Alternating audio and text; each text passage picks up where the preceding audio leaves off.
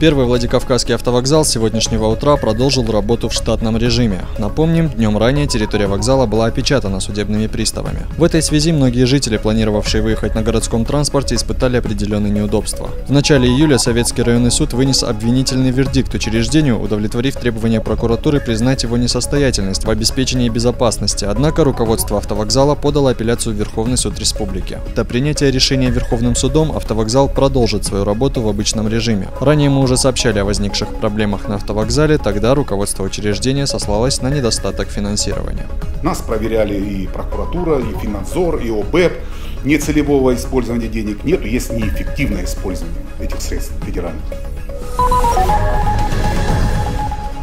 На Аллее Славы Владикавказа почтили память спецназовцев Управления Федеральной службы исполнения наказаний, погибших во время ингушско-остинского конфликта. Каждый год 13 августа сотрудники управления навещают могилы на Аллее Славы. 16 лет назад на границе с Ингушетией отряд из 13 человек подвергся обстрелу. По сей день коллеги погибших всячески поддерживают их семьи.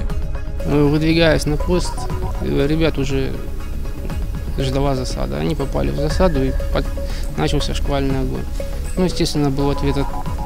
открыт ответный огонь и вызвано подкрепление. Когда подкрепление уже подошло, ну, они БТРы подошли, пом помогли нам отбить атаку. Ну, все. До старта единого дня голосования в городское собрание представителей остается чуть более месяца. У кандидатов стартовал основной этап – период предвыборной агитации. В территориальную избирательную комиссию подали заявки около 300 претендентов, 7 из них уже получили отказ. Также из-за выявленных нарушений к выборам не допущен один муниципальный округ. Я считаю, что процесс проходит нормально.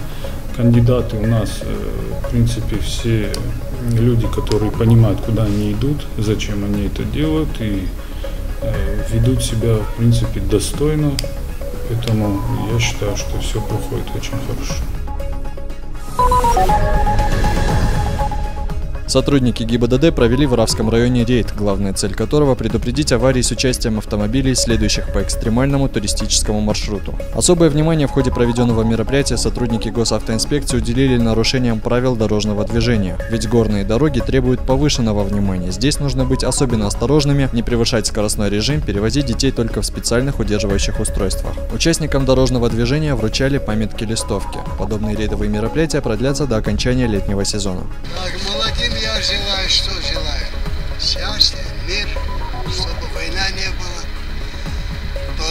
Çiçeli, Peli Menşe,